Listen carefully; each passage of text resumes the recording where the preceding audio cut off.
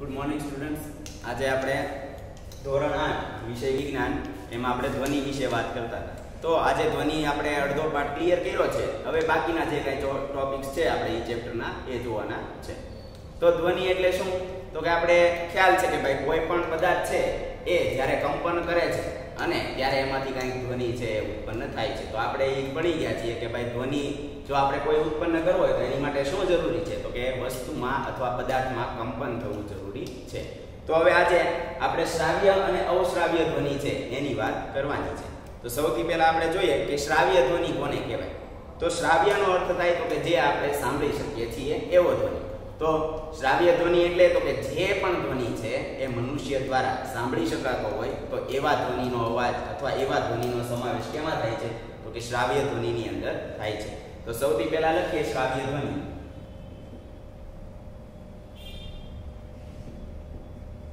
તો હમણાં મેં જેમ કીધું કે ભાઈ જે ધ્વનિ મનુષ્ય દ્વારા સાંભળી શકાય છે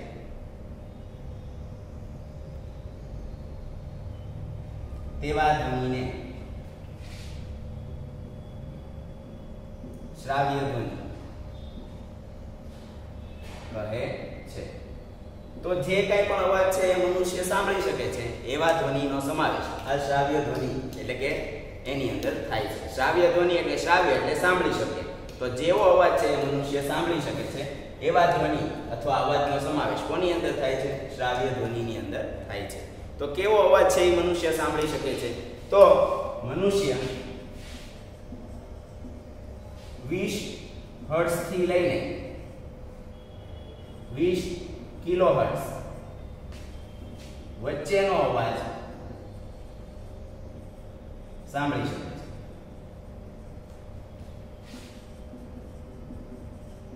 તો આપણી માટે શ્રાવ્ય ધ્વનિ છે, એ કયો થશે? તો કે 20 હર્ટ્ઝથી 20 કિલોહર્ટ્ઝની વચ્ચેનો જે કાંઈ અવાજ છે, એ મનુષ્ય દ્વારા સાંભળી શકાય છે. તો આ વચ્ચેનો જે કાંઈ અવાજ છે, એનો સમાવેશ શ્રાવ્ય ધ્વનિની અંદર થાય છે. તો ખ્યાલ આવી ગયો શ્રાવ્ય ધ્વનિ એટલે શું? તો કે જે ધ્વનિ છે મનુષ્ય દ્વારા સાંભળી શકાય છે. એ ધ્વનિનો સમાવેશ શ્રાવ્ય ધ્વનિની અંદર થાય છે. કયો ધ્વનિ આપણે ધ્વનિ સાંભળી શકીએ? તો 20 હર્ટ્ઝથી લઈને 20 કિલો હર્ટ્ઝની વચ્ચેનો જે કાંઈ અવાજ છે એ મનુષ્ય દ્વારા સાંભળી શકાય છે, તો એનો સમાવેશ શ્રાવ્ય ધ્વનિની અંદર થાય છે. આ હર્ટ્સ શું છે? તો કે આપણે વાત કરી ગયા હતા કે આવૃત્તિનો એકમ છે, બરાબર? તો આવૃત્તિ, આ 20 હર્ટ્ઝથી 20 કિલો હર્ટ્ઝ વચ્ચેની જે કાંઈ આવૃત્તિ હશે, એ આવૃત્તિ વાળો અવાજ મનુષ્ય સાંભળી શકે છે. તો એનો સમાવેશ શ્રાવ્ય ધ્વનિની અંદર થાય છે. હવે બીજી વાત કરીએ અવશ્રાવ્ય ધ્વનિ કોને કહેવાય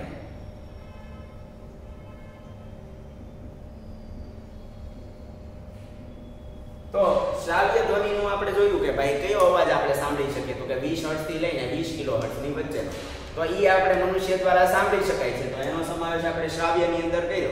તો અવશ્રાવ્ય છે એનાથી વિરોધી કે ભાઈ જે અવાજ છે એ મનુષ્ય દ્વારા સાંભળી શકાતો નથી. તો એનો સમાવેશ અવશ્રાવ્ય ધ્વનિની અંદર થાય છે. તો અવશ્રાવ્ય ધ્વનિની વ્યાખ્યા લખો. જે ધ્વનિ મનુષ્ય દ્વારા સાંભળી શકાતો નથી. તેને અવશ્રાવ્ય ધ્વનિ કહેવાય છે.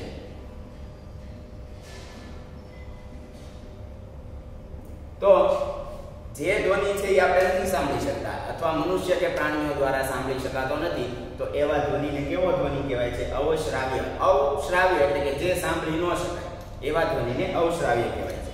શ્રાવ્ય ધ્વનિમાં આપણે વાત કરી હતી કે ભાઈ 20 હર્ટ્ઝથી 20 કિલો હર્ટ્ઝની વચ્ચેનો જે કાંઈ અવાજ છે, એ આપણે સાંભળી શકીએ. તો અવશ્રાવ્યમાં કયો ધ્વનિ આવશે? તો અવશ્રાવ્યની અંદર 20 હર્ટ્ઝ કરતા ઓછી આવૃત્તિ વાળો.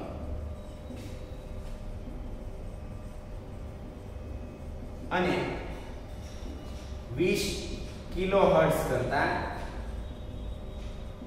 વધુ આવૃત્તિ વાળો અવાજ.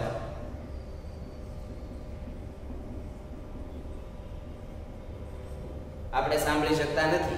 તો 20 હર્ટ્ઝથી ઓછી આવૃત્તિ વાળો અવાજ અને 20 કિલો હર્ટ્ઝ કરતા વધુ આવૃત્તિ વાળો અવાજ છે. એનો સમાવેશ કોની અંદર થાય છે? અવશ્રાવ્ય ધ્વનિની અંદર થાય છે. આ બંનેની વચ્ચેનો જે ધ્વનિ છે એ મનુષ્ય સાંભળી શકે છે.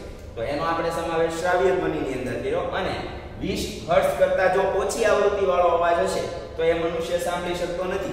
અને એવી જ રીતે 20 કિલો હર્ટ્ઝ કરતા જો વધારે આવૃત્તિ વાળો અવાજ હશે, તો એ પણ મનુષ્ય દ્વારા સાંભળી શકાતો નથી. તો 20 હર્ટ્ઝ કરતા ઓછો અને 20 કિલો હર્ટ્ઝ કરતા વધારે ધ્વનિ છે, એનો સમાવેશ અવશ્રાવ્ય ધ્વનિની અંદર થાય છે.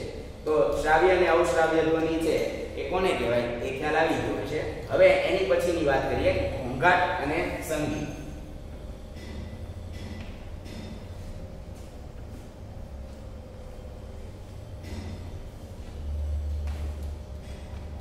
તો એની પછીનો ટોપિક છે ઘોંઘાટ અને સંગીત.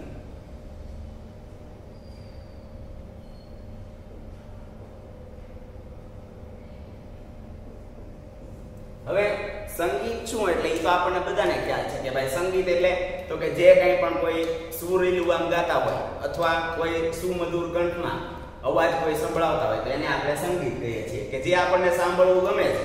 આપણા કાનને પણ એ સાંભળવું ગમે.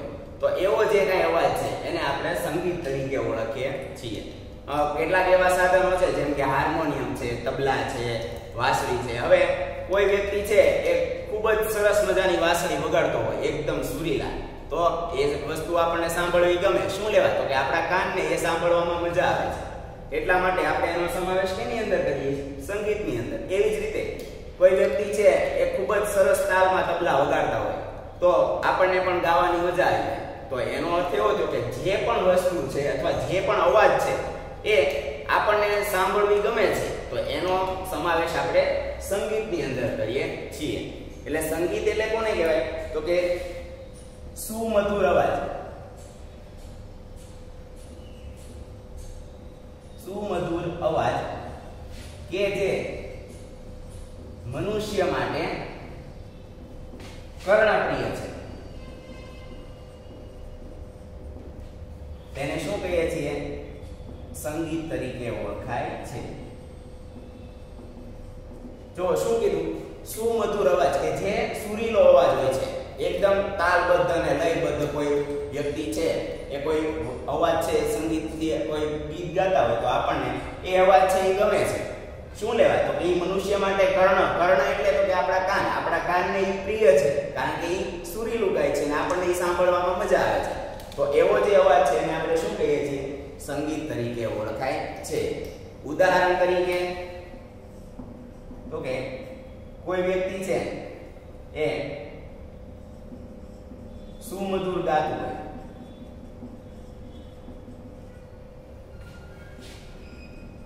અથવા તાલબદ્ધ વાદ્ય વગાડતું તો તે આપણને સાંભળવું ગમે છે. કોઈ સરસ મજાના તબલા વગાડતું હોય તો આપણને એ સાંભળવા ગમે. એવી જ રીતે કોઈ વ્યક્તિ છે એ સરસ મજાનું હાર્મોનિયમ છે કે ભાઈ કીબોર્ડ છે અથવા વાસણી છે એ વગાડતા હોય, તો એ મનુષ્યના કાનને સાંભળવું ગમે છે. તો એના માટે એને શું કહીએ છીએ આપણે? સંગીત તરીકે ઓળખીએ છીએ.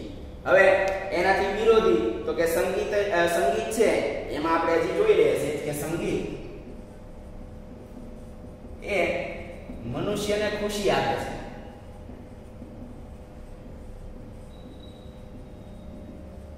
ખુશી એટલે તો કે આપણે કોઈ થાકી ગયા હોય આપણે. ધારો કે આખો દિવસ કામ કર્યું હોય, તમે લોકો આખો દિવસ ભણ્યા પછી આપણે એવું કરીએ છીએ કે ભાઈ નિરાતે બેસી અને કંઈક સારા આપણને ગમે એવા સંગીત તમે જો સાંભળ્યા હોય, તો તમે માઇન્ડ તમારું ફ્રેશ થઈ જાય. શું લેવા? તો કે એ સંગીત આપણને ગમે છે ને ઈ સંગીત તમે સાંભળો છો. તો તમારા મનને એક આમ શાંતિનો અનુભવ છે એ થાય છે. તો જે સંગીત અથવા જે અવાજ છે એ આપણને સાંભળવો ગમે તો એ સાંભળીને મનુષ્ય છે એ ખુશ થાય છે ને એનું માઇન્ડ છે એ પાછું ફ્રેશ થઈ જાય. તો તમે પણ જ્યારે આવું કર્યું હશે કે ભાઈ આપણે બહુ અભ્યાસ કરી લીધો હોય અને એકદમ તમે જ્યારે થાકી ગયા હો ત્યારે તમે જો તમને ગમે એવું સંગીત સાંભળી લો, તો તમારું માઇન્ડ છે એ ફ્રેશ થઈ જાય પછી ફરી પાછા આપણે ભણવામાં લાગી જઈએ છીએ તો સંગીત એ મનુષ્યને હંમેશા ખુશી આપે છે અને એ સાંભળવું મનુષ્યને ગમે છે. એનાથી વિરોધી આપણે જોઈએ તો કે ઘોંઘાટ શું છે?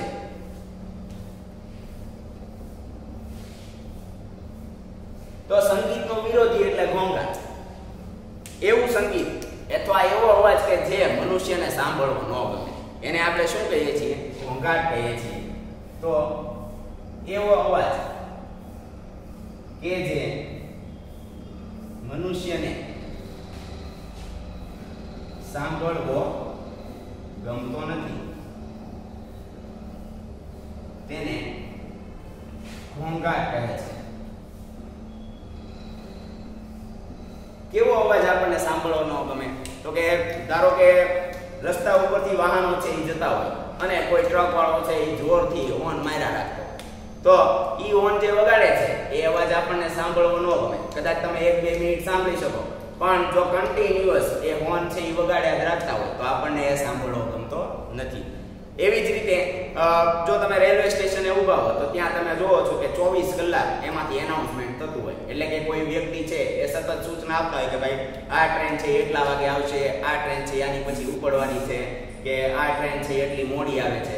તો એ વ્યક્તિ છે એ સતત એનું કામ છે બોલવું અને એનાથી આપણને એ માહિતી આપે છે. પણ જો તમે સતત એવો અવાજ છે આખો દિવસ સાંભળ્યા રાખો, તો એ તમારા કાનને છે એ ગમતો નથી. તો આપણી માટે એ શું થાય છે?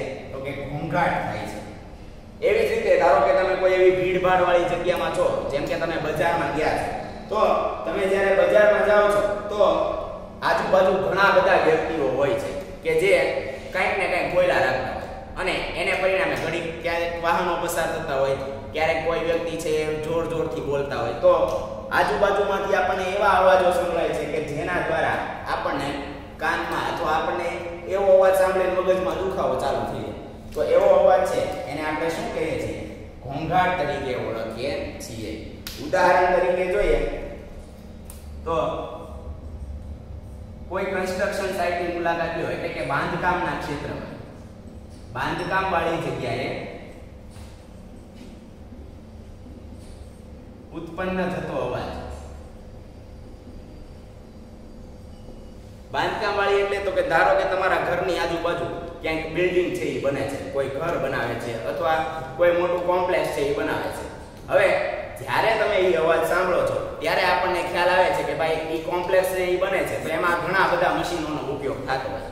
આ બધા મશીનો છે એ સતત ને સતત અવાજ કરતા હોય છે. હવે એવો અવાજ છે એ આપણે એકાદ દિવસ ધારો કે ચલાવી બે દિવસ તમે કદાચ અઠવાડિયું કાઢી નાખો. પણ એની પછી જો કન્ટિન્યુઅસ એ અવાજ છે એ તમને જો સાંભળવા મળે છે, તો એના દ્વારા તમારું જે માઇન્ડ છે એ ડાયવર્ટ થઈ જાય. આપણને મગજનો દુખાવો થવા માંડે.